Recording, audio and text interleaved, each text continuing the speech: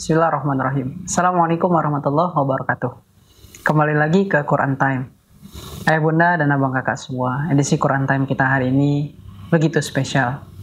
Karena kami ingin kita mentadaburi sekaligus langsung mempraktekkan surah yang ke-13 ayat 28. Surah yang begitu masyhur, begitu familiar, ya di mana Allah Subhanahu wa taala berfirman Bismillahirrahmanirrahim.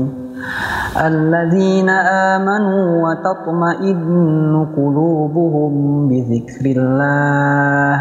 Ala bi dzikrillah tatma'innul qulub Allah Subhanahu wa taala berfirman di surah Ar-Ra'd ayat 28 yaitu orang-orang yang beriman dan hati mereka menjadi tentram hati mereka menjadi tenang dengan mengingat Allah. Ala bizikrillahi tatmainnul qulub.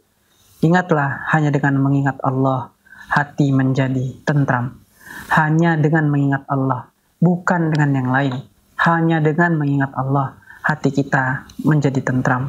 Sebab zikir adalah sesuatu yang ringan namun berat di timbangan.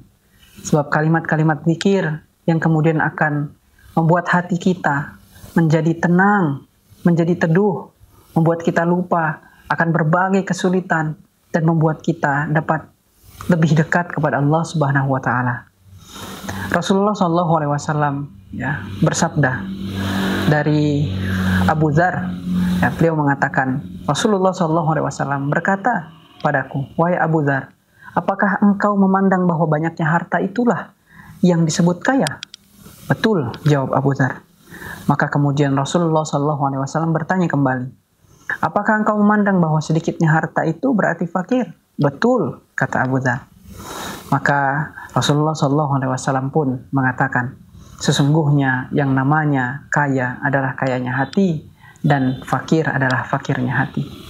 Salah satu yang membuat hati kita menjadi kaya adalah zikir kita kepada Allah Subhanahu wa taala.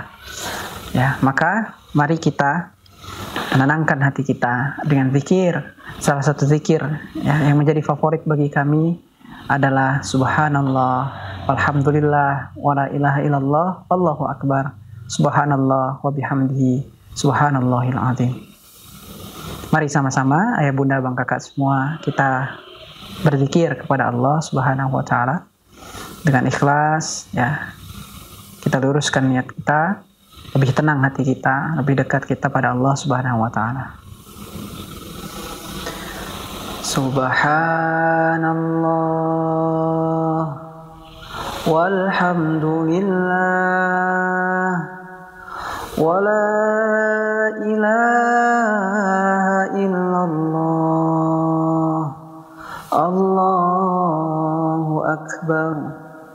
Subhanallah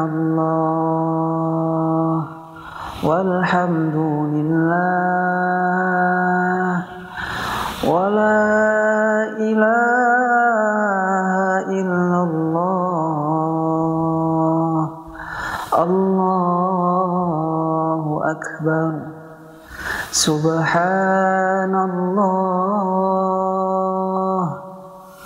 walhamdulillah wala ilaha illallah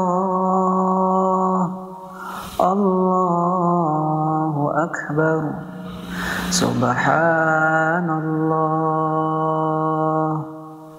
wa bihamdihi subhanallahil azim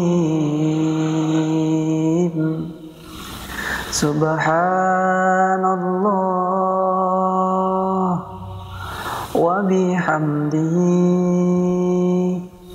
subhanallahil azim subhanallah wa bihamdihi adada khalqihi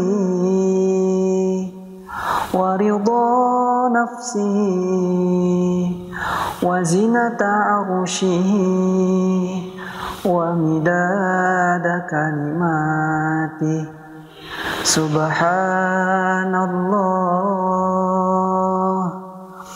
wa bihamdihi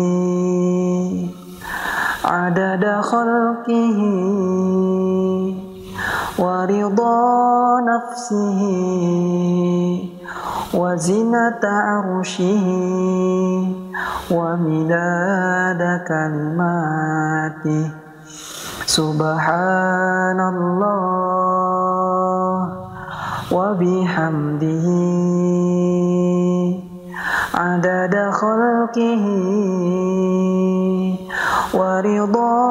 نفسه وزنة عرشه ومداد كلماته سبحان الله والحمد لله ولا إله إلا الله. الله أكبر. Subhanallah. Walhamdulillah.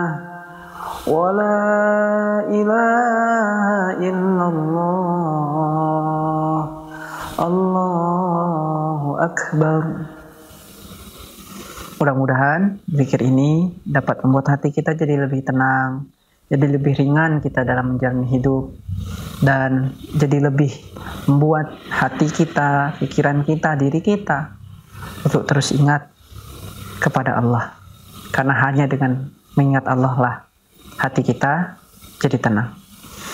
Mudah-mudahan bermanfaat bermakna. Kita ketemu lagi di Quran Time berikutnya. Assalamualaikum warahmatullahi wabarakatuh.